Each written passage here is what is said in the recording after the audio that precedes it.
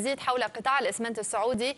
ينضم إلينا مباشرة من القاهرة طارق الشواربي مدير قطاع بحوث الصحة ومواد البناء في المجموعة المالية. هيرميس سيد طارق أهلا وسهلا بك. اذا بدأنا نسمع أو نرى نتائج شركات الإسمنت السعودية. دعنا نبدأ مع إسمنت القصيم. اسمنت القصيم عندنا تراجع ب 11% أو 17% عفوا في الأرباح الفصلية الصافية. آه، تقول الشركة السبب وراء ذلك ارتفاع في تكلفة المبيعات على الرغم من ارتفاع كمية وقيمة المبيعات. بالتالي هل يعود ذلك برأيكم فقط إلى زيادة تكلفة الطاقة على الشركة؟ آه بالظبط هو ده اللي إحنا كنا بنتوقعه إن آه هتلاقي إن معظم شركات الأسمنت دلوقتي الهبوط اللي هيحصل في في الأرباح ده هيبقى راجع من الدرجة الأولى إلى ارتفاع التكاليف بعد رفع بعض من الدعم على المحروقات أو الطاقة للشركات دي. فده هيبقى الجزء الأكبر من الشركات. الجزء الثاني ممكن يبقى راجع إلى انخفاض أسعار البيع. ده جزء ثاني هي عفوا لازم نقول إنه كان في انخفاض بقيمة المبيعات يعني بنتائج الشركة. بالتالي هل تتوقعون إنه التسعير كان جدا منخفض؟ أعتقد التسعير هيبقى منخفض. إحنا للأسف ما عندناش الارقام المبيعات لسه. ولكن إحنا توقعاتنا لأن إحنا 2015 شفنا حرب أسعار في في السوق السعودي والشركات بعض الشركات كانت بتبيع ب 200 ريال و230 أقل من السعر المحدد من وزارة التجارة اللي هو 240 ريال. فهيبقى جزء برضه في جزء هيبقى راجع آه لانخفاض آه أسعار البيع. ولكن برضه هرجع أقول إن الجزء الأكبر هيبقى راجع لارتفاع تكاليف الإنتاج. آه طارق هل تتم يعني تتوقعون استمرار ذلك في ظل تكدس المعروض؟ و يعني ما زلنا يعني ما زال موجود المنع على الشركات السعودية من تصدير منتجاتها؟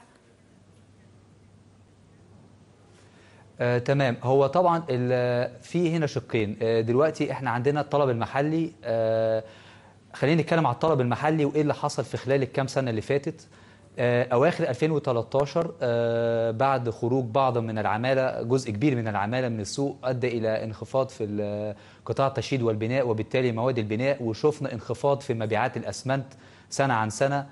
والكلام ده كمل في 2014 في في الربع في النص الأولاني من 2014 حتى بدأت الحكومة تنظم تاني موضوع تأشيرات العمالة. وبدأنا نشوف ارتفاع في المبيعات أواخر النص الثاني من 2014 و2015 طبعا كانت الارتفاعات عالية لأن كان في مشاريع مؤجلة أثرت في 2015 فالارتفاعات كان عاليه.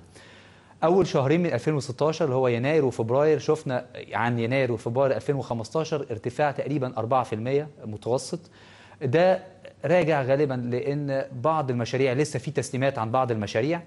توقعاتنا عن 2016 بعد ما الحكومة أعلنت خفض التكاليف الرأسمالية فنعتقد إن هيحصل ممكن انخفاض في الطلب ممكن من الربع الثاني أو النص الثاني من 2016 فإحنا توقعاتنا يا إما يعني المبيعات هتفضل على نفس المستوى أو انخفاض 2% ونبدأ نشوف ارتفاعات أواخر 2017 أو النص الثاني من 2017 ده بالنسبة للطلب في المحلي. وبدأنا نشوف مخزون من الكلينكر مرتفع جدا وبعض الشركات عندها مخزون ست شهور وسبع شهور وبالتالي بدأنا نشوف شركات بتنزل أسعار وبتنافس في مناطق غير المناطق بتاعتها. يعني في شركات من الجنوب تنافس في مناطق من الغرب أو المنطقة الوسطى.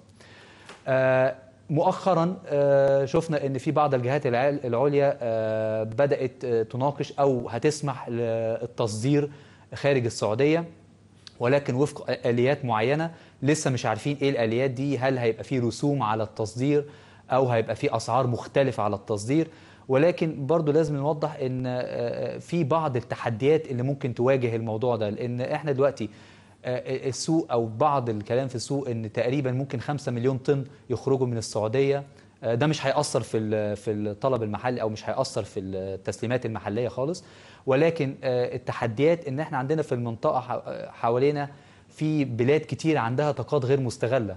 وتاني حاجة المناطق اللي هتصدر لها ممكن تبقى فين؟ يا إما سوريا العراق ليبيا اليمن.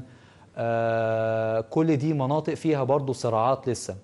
آه، أو أفريقيا وده الكلام إن ممكن يبقى أفريقيا. لكن برضو في يعني بعض الصعوبات ممكن في أفريقيا. فتاني حاجة إن الأسعار في المنطقة بقت تقريبا شبه بعض من من من حيث سعر الطن بالدولار فده خبر كويس. آه، بعض الشركات هتقدر تصدر زي الشركات الشمال الجنوب.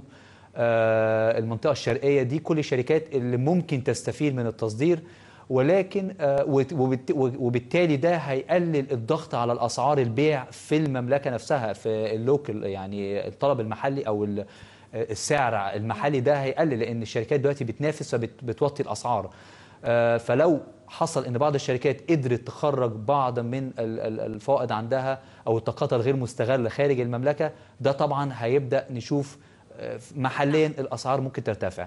لكن هي دي التحديات مبدئيا إن آه، الطاقات الغير مستغلة. ممكن نشوف طبعا آه، الإمارات برضو عندها طاقات غير مستغلة. طبعا عندنا الإكسبو 2020 آه، قطر عندنا ال- آه، 2022 برضو. في كل دي حاجات ممكن يفهموا آه، يعني آه، طاقات تطلع. ولكن إحنا كل ده بنتكلم في لسه قدامنا كذا سنة. فإحنا بنتكلم في الفترة القصيرة 2016 17 إيه اللي ممكن يحصل. طارق الشواربي مدير قطاع بحوث الصحة ومواد البناء في المجموعة المالية. إرماس شكرا جزيلا لك. نقلت وكالة رويترز